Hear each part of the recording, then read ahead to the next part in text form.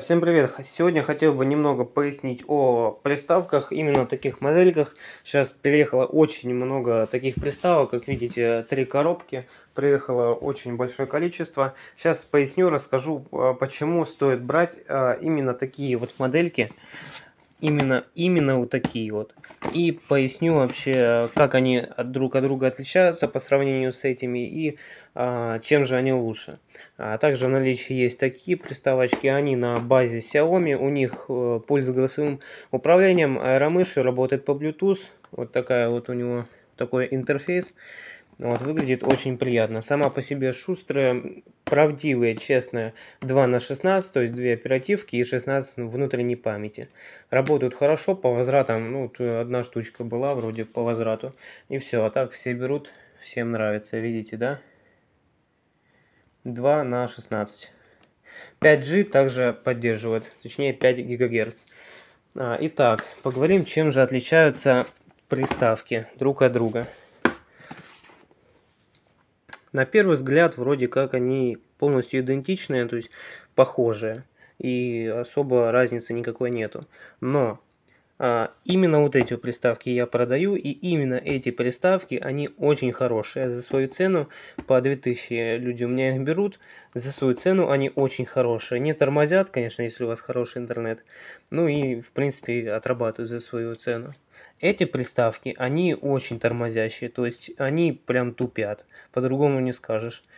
Ну вот, и сейчас поговорю, объясню, почему стоит смотреть именно на такие и по каким критериям. Во-первых, Netflix. На коробке должен быть такой значок Netflix. Здесь его нету, то есть все такие вот значки есть. Немного отсвечивает. Видите, да? Все вот прям точь в точь. Но обязательно должен быть значок, значок Netflix. Дальше. А, ну, смотрим, да, как нарисована здесь приставка и как нарисована здесь приставка. Все равно тоже вот отличается. А задний фон. Здесь он более темный, здесь он более светлый. Это тоже учитываем. Теперь переворачиваем. Тоже отличаются. Задний фон он более а, яркий, у этой приставки более тусклый. И по вот таким вот а, критериям тоже смотрим, по значкам. Здесь они есть, здесь их нету. Хотя выглядит вроде как на первый взгляд одинаково. Дальше открываем. Здесь видим такую. Здесь открываем. Нету ничего. То есть, видите, да? Тут есть такая штучка, а здесь нету. Дальше открываем. На первый взгляд тоже, да, вроде одинаковые, да, приставки. Но нет. Берем, достаем эту, смотрим. И эту. Первое, что должно броситься в глаза, это а, вот это вот 4К. Здесь оно вот на таком белом фоне, то есть обведено. Здесь нет. Это тоже надо учитывать. Дальше. Смотрим по выходам. Здесь выходы USB, они такие вот беленькие. Здесь черные. Сейчас уберу эту наклейку. То есть, видите, да, черная. Дальше переворачиваем.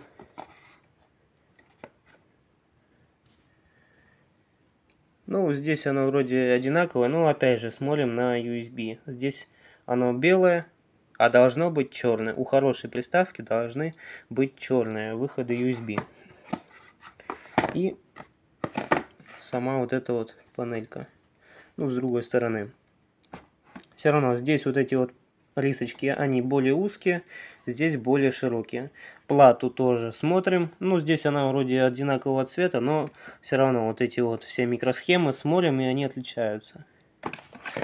То есть, таких вот очень много, и они тормозят, там, рублей 900, там, на Озоне, на Валбересе стоят, там, даже, там, полторы тысячи, они тормознутые. Эти приставки, которые я продаю, продаю уже долго, они не тормозят сами по себе, а, ну и работают отлично. По комплектации сравним сейчас. по пультам.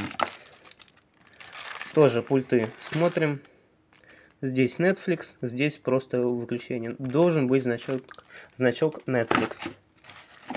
Ну и по блоку питания тоже смотрим. Блок питания должен быть таким небольшим. Ну такие вот критерии были.